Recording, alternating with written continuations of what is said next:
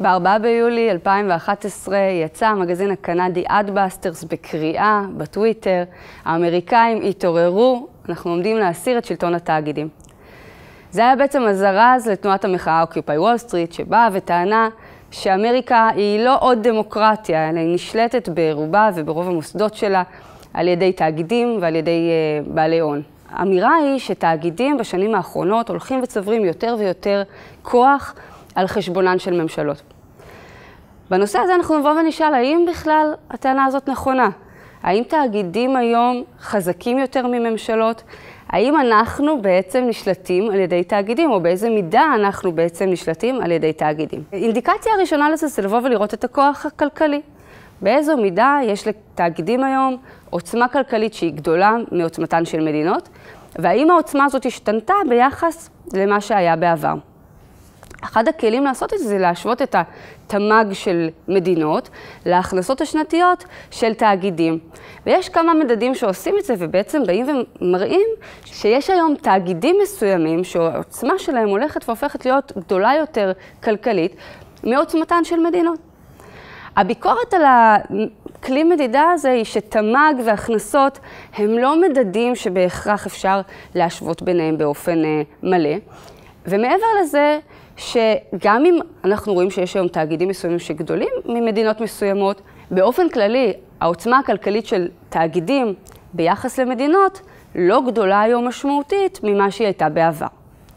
אז מה בכל זאת אפשר להגיד? מאיפה באה הטענה הזאת על זה שהתאגידים שולטים בנו? מעבר לעניין הכלכלי, חשוב לשים לב לעוד כמה היבטים. ראשית, תאגידים, גם אם הם לא תמיד מחזיקים בעוצמה כלכלית יותר גדולה, הם הרבה פעמים מחזיקים במשאבים אחרים. למשל, ידע.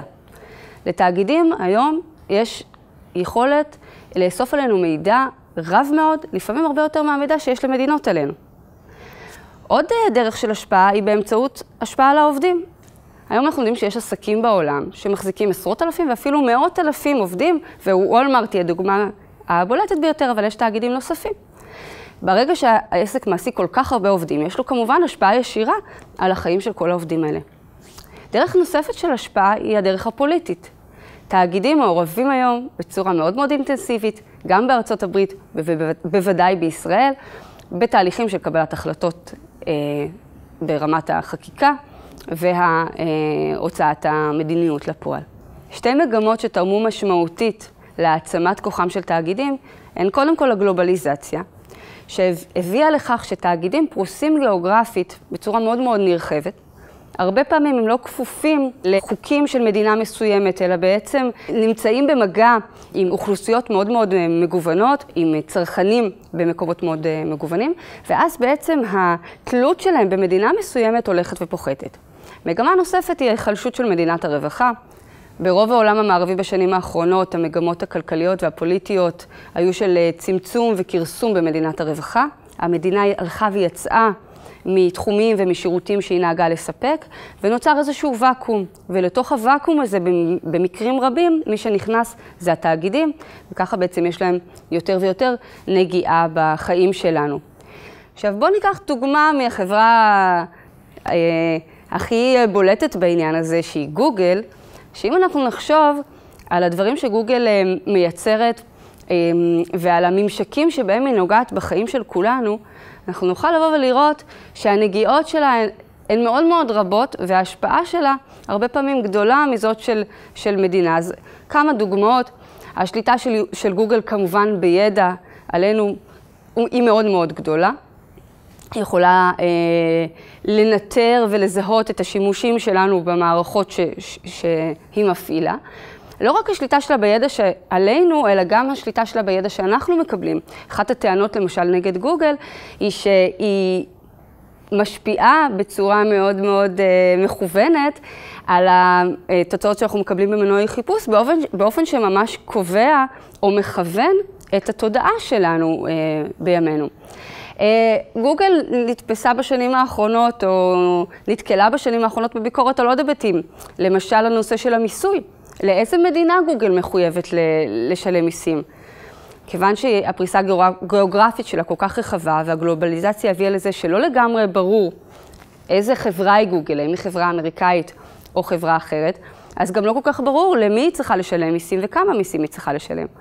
טכנולוגיה של גוגל Street View, אם נחשוב עליה, זו טכנולוגיה שיש לה ממש יכולת אה, לשנות חיים של אנשים, גם במובן של לעזור לזהות כל מיני התרחשויות שקורות ב, אה, במקומות מסוימים, גם במובן שהיא מאפשרת לאנשים שבעבר לא היו יכולים לצאת מהספה ובטח לא לטוס לחוץ לארץ, להיות מסוגלים לראות מקומות שונים אה, בעולם. אבל הייתה גם הרבה ביקורת על הטכנולוגיה הזאת, מפני שהיא הרבה פעמים קלטה במצלמות שלה אנשים בכל מיני סיטואציות לא נעימות, וגם אם החברה מבטיחה לטשטש את, ה, את התמונות האלה, הרי שלמעשה הן מצויות באיזה שהם מאגרים. בשרתים של החברה, וכולנו יודעים שיש איזשהו חשש שמתישהו זה יגיע לידיים הלא נכונות. ככה שלחברה אחת, ואלה רק שלוש דוגמאות קטנות, יש המון המון ממשקים שדרכם היא יכולה להשפיע על החיים של כולנו. אם אנחנו מבינים שעסקים משפיעים בצורה כל כך משמעותית על החיים של כולנו, אמ, אז אנחנו צריכים להתחיל ולהעלות את השאלות, איזה סוג של אחריות מגיעה עם העוצמה הזאת ועם היכולת השפעה הזאת. כולנו למדנו בבית הספר שיעורים באזרחות, כי כולנו מבינים שהמדינה היא איזשהו גוף שיש לו השפעה מאוד משמעותית על החיים שלנו. ולכן אנחנו גם מבינים שאנחנו צריכים לבוא וללמוד איזה מנגנונים אמורים לווסת את האחריות הזאת, איזה מנגנונים אמורים להגביל אותה. אם התאגידים הולכים וצוברים כוח שהוא גדול מכוחם של מדינות, הרי שמתבקש שנבוא ונשאל איזה מנגנונים יש לנו להגביל את הכוח של התאגידים. מה אנחנו מצפים מהתאגידים האלה? ואם כולנו הולכים אחת לארבע שנים, או בישראל הרבה פעמים אחת לפחות שנים, הולכים ומצביעים בבחירות ובוחרים פתק שאנחנו חושבים שהוא מייצג את השלטון שאנחנו מצפים שייקח, אה, ידאג בצורה הטובה ביותר לצרכים שלנו, אז אולי אנחנו צריכים לבוא ולהתחיל ולשאול, מי האנשים שאנחנו רוצים שיעמדו בראש התאגידים או העסקים שמקיפים אותנו, ואיך אנחנו רוצים שהעסקים האלה יתנהלו באופן שישרת בצורה הטובה ביותר את הצרכים שלנו, כצרכנים, כעובדים וכאזרחים.